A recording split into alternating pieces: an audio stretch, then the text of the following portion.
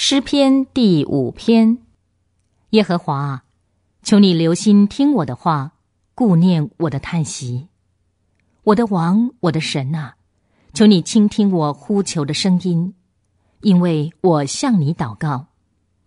耶和华，求你在清晨听我的声音，我要一早向你陈明，并且迫切等候，因为你是不喜爱邪恶的神。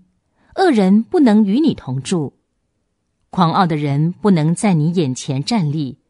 你恨恶所有作恶的人，你必灭绝说谎话的，好流人血和弄诡诈的，都是耶和华所憎恶的。至于我，我必凭着你丰盛的慈爱进入你的殿，我要存着敬畏你的心，向你的圣所敬拜。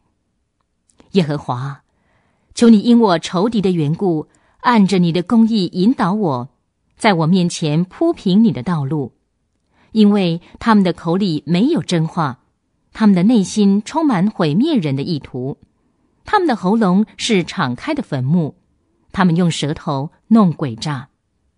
神啊，求你定他们的罪，愿他们因自己的诡计跌倒，愿你因他们许多的过犯把他们赶出去。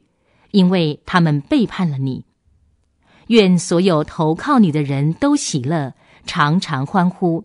愿你保护他们，又愿爱你名的人因你欢乐。耶和华，因为你必赐福给一人，你要以恩惠像盾牌四面护卫他。